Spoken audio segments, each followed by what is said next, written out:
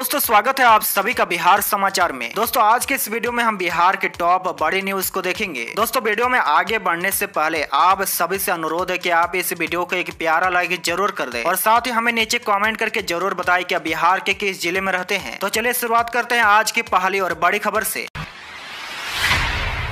बिहार में बदला मौसम का मिजाज, आंधी पानी की चेतावनी, साथ ही येलो अलर्ट जारी। पटना समेत बिहार के अलग अलग हिस्सों में मौसम के कई रंग देखने को मिल रहा है। प्रदेश के दक्षिणी भागों में आंशिक बादल छाने व उत्तरी भागों में मेघ गर्जन के साथ वर्षा की गतिविधियाँ बनी हुई है। मौसम विज्ञान केंद्र के अनुसार एक चक्रवर्ती परिसंचरण का क्षेत्र दक्षिण बांग्लादेश तक बना हुआ है। इनके प्रभाव से प्रदेश के उत्तरी भागों में अगले दो दिन तक मेघ गर्जन, बिजली चमकने के साथ ही हल्की वर्षा का पूर्वानुमान जारी किया गया है। साथ ही इसी दौरान हवा की गति 10 से 20 किलोमीटर प्रति घंटा व झोंके के साथ 30 से 40 किलोमीटर प्रति घंटा रहने का पूर्वानुमान है। मौसमी प्रभाव को देखते हुए येलो अलर्ट भी जारी किया गया है। चुनाव से पहले तेजस्वी का गेम चेंजर प्लान शिक्षक भर्ती जल्द कराने का दिया निर्देश। उप मुख्यमंत्री तेजस्वी यादव ने रविवार को शिक्षा मंत्री व विभागीय अधिकारियों के साथ बैठक की और शिक्षा विभाग में रिक्त पदों पर शीघ्र नियुक्ति करने को कहा है। इसके अलावा नए शिक्षकों की नियुक्ति जल्द हो सके, इसके लिए विभागीय कार्रवाई पूरे करने का भी निर्देश दिया है। उन्होंने सरकारी विद्यालयों में बच्चों के लिए बुनियादी सुविधाएँ उपलब्ध कराने और स्वच्छता का पूरा प्रबंध कराने का भी निर्देश दिया है। बैठक में शिक्षा मंत्री डॉक्टर चंद्रशेखर भी मौजूद थे। आपको बता दें कि बिहार सरकार ने बीपीएससी के माध्यम से नियुक्त किए जाने वाले एक दशमलव अठहत्तर लाख शिक्षकों के नए लॉट के बेहतर वेतनमान को अंतिम रूप दे दिया है और 2006 से अब तक नियुक्त लगभग चार लाख शिक्षकों की नाराज़गी के बावजूद माध्यमिक और उच्चतर माध्यमिक विद्यालय के लिए प्रक्रिया पहले से शुरू हो चुकी है। बीपीएससी ने इस साल के अंत में होने वाली परीक्षाओं के लिए पाठ्यक्रम पहले ही जारी कर दिया है। राजद के प्रमुख चुनावी वादों में रोज़गार सृजन और स्कूलों में गुणवत्तापूर्ण शिक्षा के साथ तेजस्वी ने शिक्षा विभाग पर ध्यान केंद्रित किया है, जिसमें बड़े पैमाने पर शिक्षक भर्ती शामिल है, जो चुनावों से पहले गेम चेंजर हो सकता है। 2005 के बाद से शिक्षा पोर्टफोलियो हमेशा जदोई के पास रहा है और यह पहली बार राजद को मिला है। पटना के बाद अब गया में भी लगेगा बाबा बागेश्वर का दिव्य दरबार। ज़्यादा के बिहार के पटना में श्रद्धालुओं की भारी भीड़ को देखते हुए बाबा धीरेन्द्र शास्त्री ने यह घोषणा किया है कि वे एक बार फिर बिहार आएँगे और दिव्य दरबार लगाएँगे। इस बार सितंबर महीने में बिहार के गया ज़िले में आएँगे और वहाँ दरबार लगाएँगे। उम्मीद है कि वहाँ भी श्रद्धालुओं की भारी भीड़ उमड़ेगी। बाबा की इस घोषणा के बाद दिव्य दरबार में बैठे श्रद्धालुओं में खुशी झलकने लगी है। दिव्य दरबार के दौरान धीरेन्द्र शास्त्री ने कहा कि अगर किसी को हिंदुओं में एकता देखनी हो तो वह बिहार आकर देखे। बिहार के लोगों के बारे में ना जाने क्या क्या कहा जाता था। लेकिन बिहार के लोग वैसे नहीं है, बल्कि यहाँ भक्ति से भरे हुए लोग हैं। ऐसा लग रहा कि भारत को हिंदू राष्ट्र बनाने की ज्वाला बिहार में धधक रही है। उन्होंने कहा कि बिहार के पागलों को इधर उधर भटकने की ज़रूरत नहीं है। एक दिन ऐसा समय आएगा कि पूरा भारत राममय हो जाएगा। बागेश्वर बाबा की कथा में शामिल होने से तेजस्वी ने किया इनकार। कहा, जहाँ जनता का भला होता है, वहीं हम लोग जाते हैं। राजद सुप्रीमो लालू प्रसाद यादव और तेजस्वी यादव के हनुमत कथा में शामिल होने की चर्चा हो रही थी, लेकिन खुद तेजस्वी यादव ने स्पष्ट कर दिया कि वे बागेश्वर धाम वाले बाबा धीरेन्द्र शास्त्री की कथा सुने नहीं जा रहे हैं। तेजस्वी ने कहा कि जहाँ जनता का भला होता है, वहीं हम लोग जाते हैं। तेजस्वी यादव ने कहा कि हमारे यहाँ बहुत निमंत्रण आता रहता है, लेकिन जहाँ जनता की भलाई की बात होती है तो वहीं हम जाते हैं। उन्होंने स्पष्ट कर दिया कि वे बाबा धीरेन्द्र शास्त्री से नहीं मिलेंगे। यूँ कहें कि बाबा के आमंत्रण को तेजस्वी यादव ने स्वीकार नहीं किया है। बागेश्वर बाबा की कथा में शामिल होने से उन्होंने इनकार कर दिया है। तेजस्वी ने कहा कि जहाँ जनता का भला होता है, वहाँ हम लोग वहीं जाते हैं। बिहार में अब जाम से मिलेगी राहत। 28 जिलों में तैनात होंगे ट्रैफ़िक पुलिस। बहाली भी होगी। बिहार के सभी जिलों में ट्रैफ़िक व्यवस्था को सुचारू बनाने के लिए ट्रैफ़िक पुलिस कर्मियों को तैनात करने की रूपरेखा तैयार हो गई है।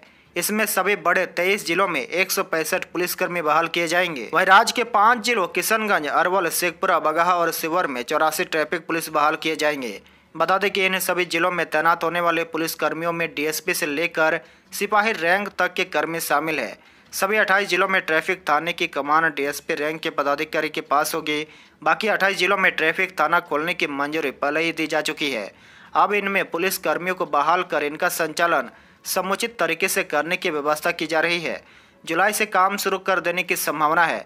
अभी 40 पुलिस जिलों में 12 से 15 ट्रैफ़िक थाने मौजूद है। 28 नए थाने खोलने से सभी 40 पुलिस जिलों में ट्रैफ़िक थाना हो जाएँगे। इसके साथ ही इक्कीस सिपाही और दारोगा की बहाली जल्द होने जा रही है, जिसमें चयनित कैंडिडेट में ही बड़ी संख्या में ट्रैफ़िक पुलिस के रूप में चयन किया जाएगा। जो भी कैंडिडेट ट्रैफ़िक में जाने की इच्छा रखते हैं, वे भी इसमें आ सकते हैं। बिहार के हर ज़िले में आवासीय मॉडल स्कूल खुलेंगे। राज्य सरकार जिलों में मॉडल स्कूल को आवासीय विद्यालय की तर्ज पर विकसित करेगी। इसके लिए शिक्षा विभाग व्यापक कार्य योजना बना रहा है। यही नहीं, यह श्रेष्ठ स्कूलों का समाकित रूप होगा। यहाँ साठ लड़के व साठ लड़कियों का चयन हर साल किया जाएगा, जिसमें उनके खाने, पीने, रहने के साथ साथ बेहतर अध्ययन की व्यवस्था भी की जाएगी। इसके अलावा उन्हें पढ़न पाठन के साथ ही कई अन्य चीज़ें सिखलाई जाएगी। शिक्षा विभाग इन स्कूलों को देश के टॉप विद्यालयों में शुमार करने की योजना बना रहा है। आपको बता दें कि विद्यालय पूरी तरह गुरुकुल शिक्षा प्रणाली की तर्ज पर होगा। हर ज़िले में एक एक विद्यालय का चयन मॉडल विद्यालय के लिए किया जाएगा। इनमें ज़िले के एक सबसे बेहतर विद्यालय का चयन किया जाएगा। इसकी प्रक्रिया शुरू हो गई है। पिछले दिनों अपर मुख्य सचिव दीपक कुमार सिंह ने इसको लेकर उच्च स्तरीय बैठक भी की थी। चयनित विद्यालयों में आधारभूत संरचना के विकास की कार्य योजना बनाकर आगे का काम होगा। अब राज्य में कहीं भी 24 घंटे में बदले जाएँगे जले हुए ट्रांसफार्मर। बिहार में भीषण गर्मी में ट्रांसफ़र जलने की लगातार शिकायतें आ रही है। बिजली कंपनी द्वारा जले हुए या खराब ट्रांसफार्मर को 24 घंटे के अंदर बदलने की तैयारी शुरू कर दी गई है। सूत्रों के अनुसार, सभी विद्युत अंचलों में अधीक्षण अभियंताओं को ट्रांसफार्मर जलने की शिकायतों को गंभीरता से लेते हुए तत्काल बिजली की उपलब्धता सुनिश्चित कराने की जवाबदेही सौंपी गई है। सभी विद्युत डिवीज़न में कन्या अभियंताओं को दिशा निर्देश में जले हुए ट्रांसफार्मर को चिन्हित करते हुए उसे बदलने की कार्रवाई की जाएगी। इसके लिए बिजली कंपनी ने अतिरिक्त ट्रांसफार्मर की व्यवस्था पहले से रखने को कहा है। जिन अंचलों में आवश्यकता से अधिक ट्रांसफार्मर है, उनसे भी यह लिया जा सकता है। बिहार में शुरू होने जा रही है अग्निवीर भर्ती रैली। इन जिलों के अभ्यर्थी होंगे शामिल। मुजफ्फरपुर ज़िले के चक्कर मैदान स्थित आर्मी भर्ती केंद्र के तत्वाधान में आगामी 16 से 28 जून तक मुजफ्फरपुर समेत आठ जिलों के लिए अग्निवीर भर्ती रैली होगी। लिखित परीक्षा पास करने वाले अभ्यर्थियों की इस भर्ती रैली में शारीरिक दक्षता जांची जाएगी। दौड़ लॉन्ग जंप हाई जंप बे में जिग जैग आदि कई तरह की शारीरिक दक्षता परीक्षा ली जाएगी। साथ ही आपको बता दें कि भारतीय रेलवे में मुजफ्फरपुर, दरभंगा, मधुबनी, समस्तीपुर, सीतामढ़ी शिवर पूर्वी व पश्चिमी चंपारण के अभ्यर्थी शामिल होंगे। वहीं प्रतिदिन छह हज़ार अभ्यर्थियों के शामिल होने की उम्मीद है। अग्निवीर भर्ती रैली के लिए ज़रूरी संसाधन जुटने रन ट्रैक बैरिकेडिंग आदि के निर्माण के लिए सत्रह मई को आर्मी निदेशक की टीम के साथ जिला प्रशासन के अधिकारी की बैठक करेंगे।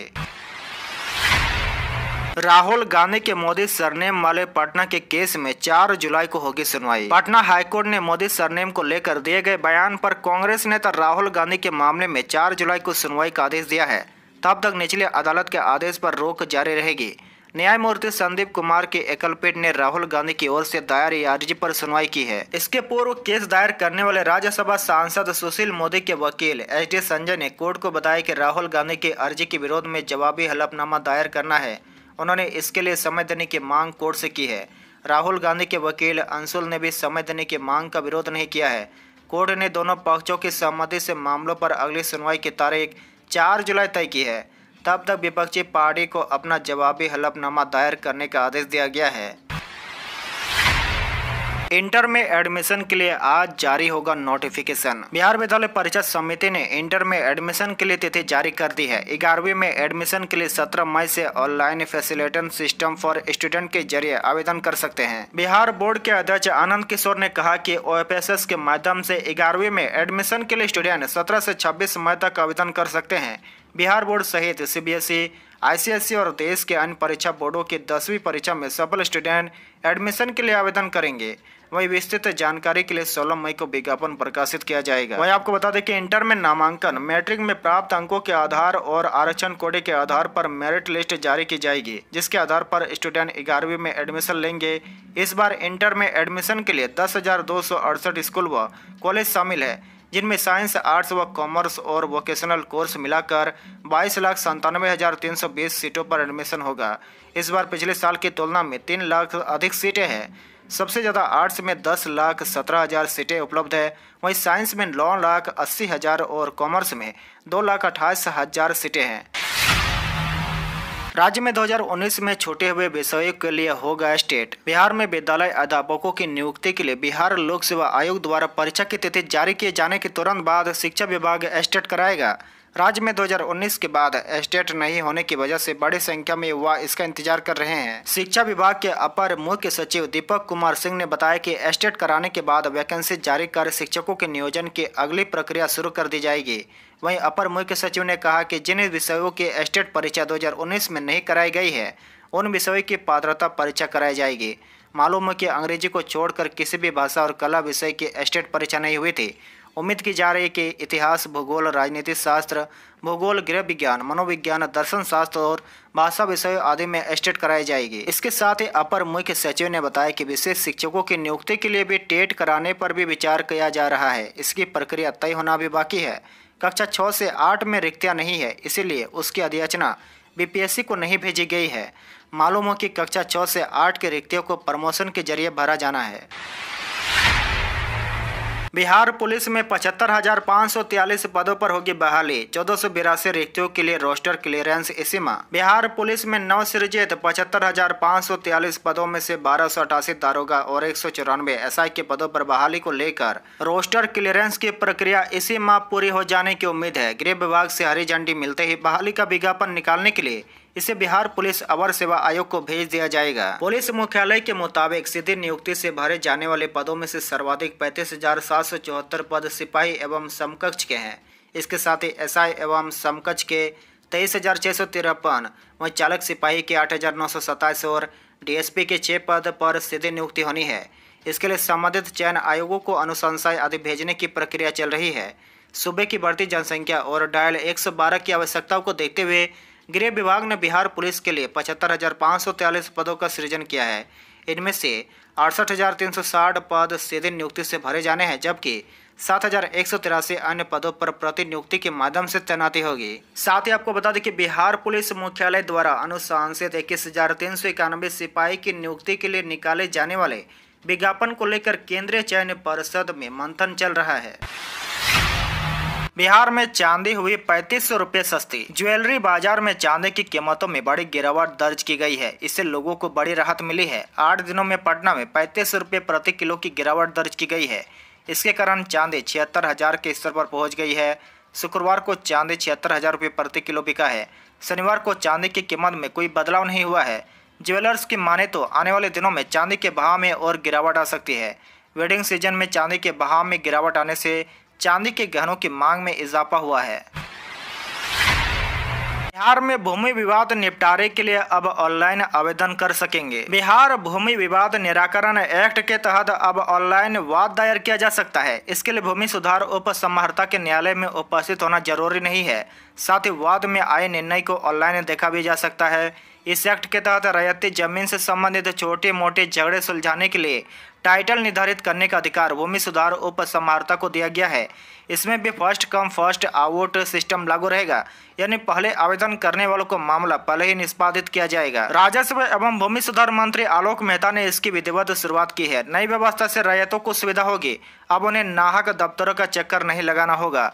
बिहार भूमि विवाद निराकरण अधिनियम 2009 के अंतर्गत सभी भूमि सुधार उप को अधिकृत मामलों से संबंधित वादों की सुनवाई प्रारंभ करने तथा पूर्व मामलों में पारित आदेशों के कार्यान्वयन का निर्देश दिया गया है।